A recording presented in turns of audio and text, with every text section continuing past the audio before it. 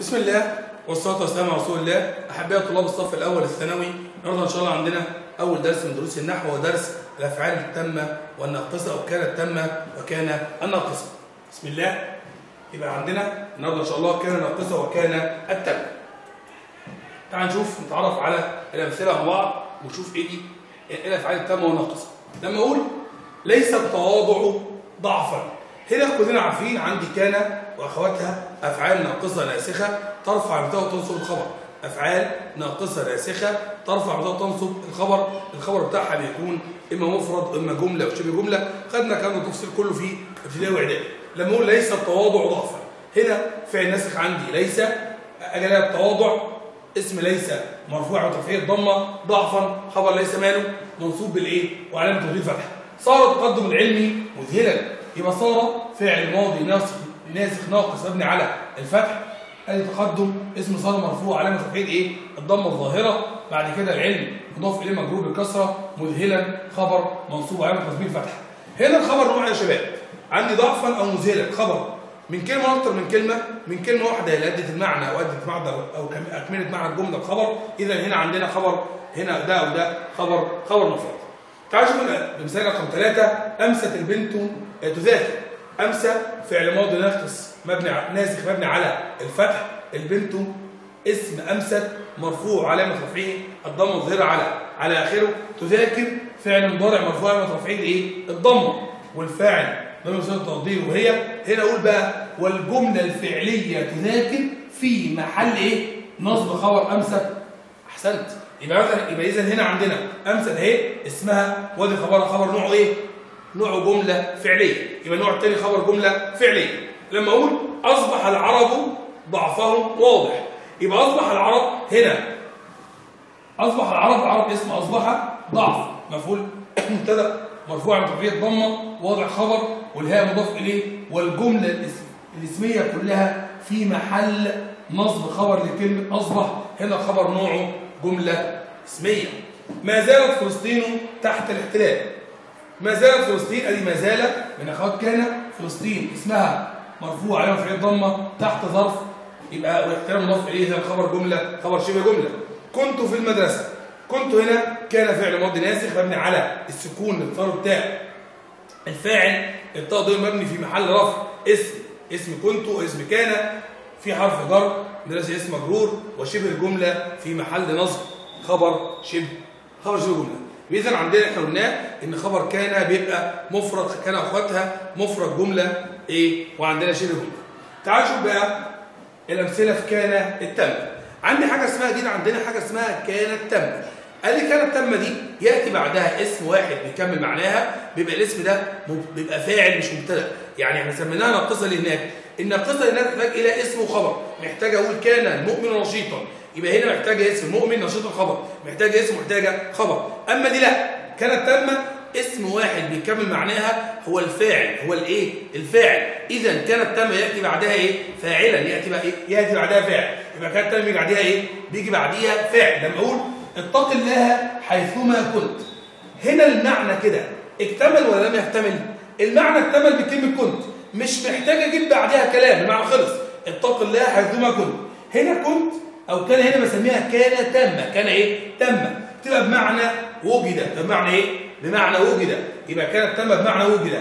يبقى هنا التاء ضمير متصل مبني في محل رفع. فاعل ولا اسم كان احسنت في محل رفع إيه؟ فاعل. ليه؟ هنا كان تامة. نفس الكلام.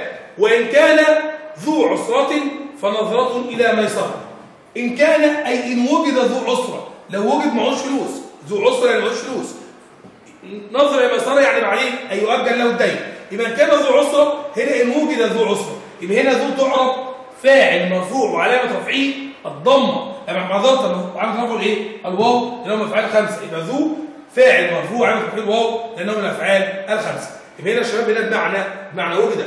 لما أقول كده اجتهد الطالب فكان النجاح. اجتهد الطالب فكان النجاح. أي فوجد النجاح يبقى النجاح تعرب فاعل تعال نشوف. عندي صار صار بمعنى أو تصير بمعنى ترجع. قال تعالى ألا إلى الله تصير الأمور. لو لاحظين أي ترجع الأمور هنا المعنى كان برضه فاعل مرفوع من تفعيل الضمة الظاهرة على على آخره. هنا أصبح أو أمسى أصبح أو أمسى وأضحى لو بمعنى الوقت. لو بمعنى الوقت. قول كده ذاكرنا فأصبح الصبح. ذاكرنا حتى أصبح الصبح.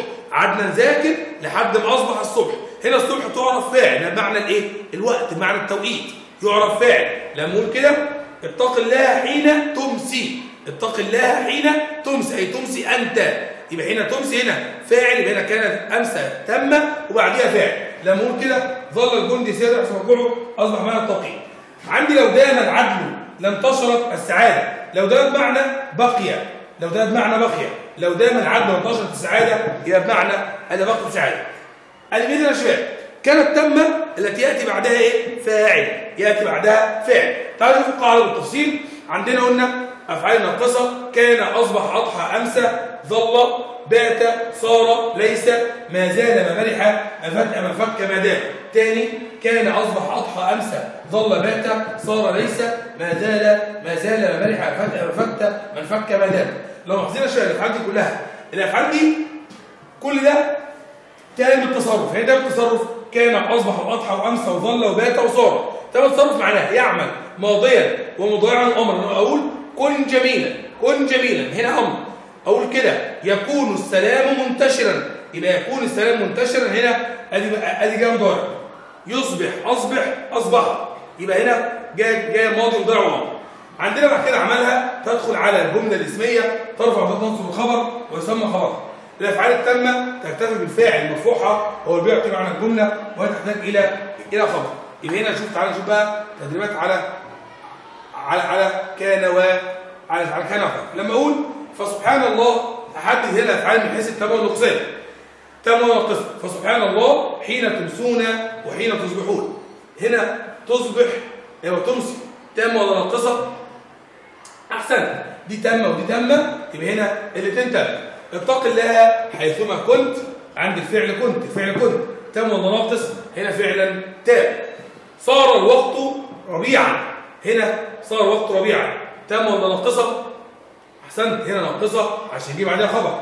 خرج الأمر من يدي وصار إلى القاضي أي تحول إلى القاضي. هنا تم هنا كان هنا صار ناقصا من فك الناس يتساءلون في عندي خبر بعد من فك هنا برضه تبقى تبقى ناقصة. أقلعت الطائرة حين أصبحنا وهبطت حين أمسينا. هنا برضه نفس الكلام. حين أمسينا وهبطت حين أصبحنا وأمسينا. الاثنين هنا هنا تم دمتم في رعاية الله وأمنه والسلام عليكم ورحمة الله وبركاته في دروس قادمة إن شاء الله.